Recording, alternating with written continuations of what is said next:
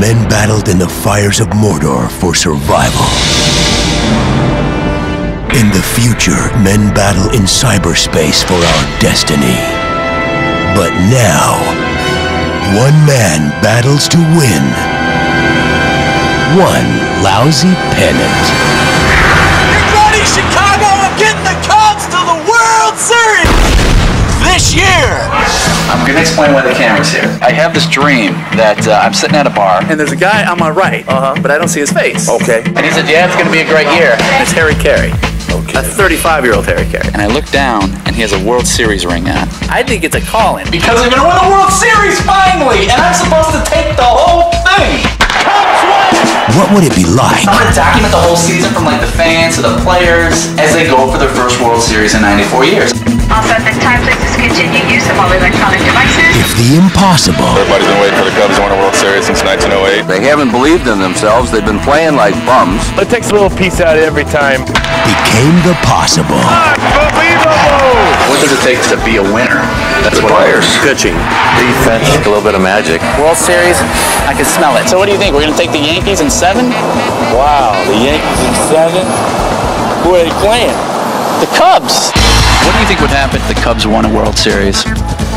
Oh my God, it's gonna be unbelievable. Sheer pandemonium. Be a lot of happy people. It's going to be a very emotional time. Crazier than Mardi Gras. I don't know if the city would survive. It's going to be a great day. We had enough time to prepare. Maybe a whole lot of drinking going on in the city. Harry Caray and Jack Brickhouse are going to rise out of their graves. You know what I'm gonna say? Hmm, about time. Not in my life. Come on, yes, it, in my yes, it will. You have to believe, and you have to believe. If we get everybody to believe, it can happen. We're with Matt Liston, and he's got a documentary, and it's called Wait Till This Year. How are they going to win the World Series this year? We're getting our brains beat in. We have to make the impossible possible. The city of Chicago just has to believe in our Cubbies. Matt has always been passionate about things, even when nobody else is. This street that we're on right now is going to host the World Series parade that the Cubs are going to have this year. Cubs are making airs and the crowd's booing or chanting, let's go on strike. I tell you what, today they just made me want to puke. I don't know what I'm going to do.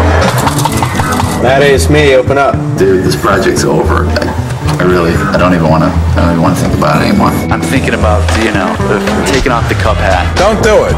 Don't do it. Don't! Have faith. But the bullpen, the bullpen, Gary. The bullpen will fix it. Trust me, son. All right, I can trust this guy. There you go. You believe, don't ever quit.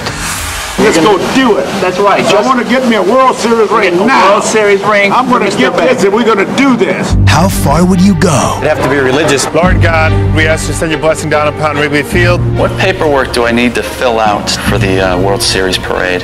For four million, someone's gonna lose his job really, really soon. to get a city It'll be the biggest celebration ever. They come down the river on boats. On the boats that are waiting up on Michigan Avenue.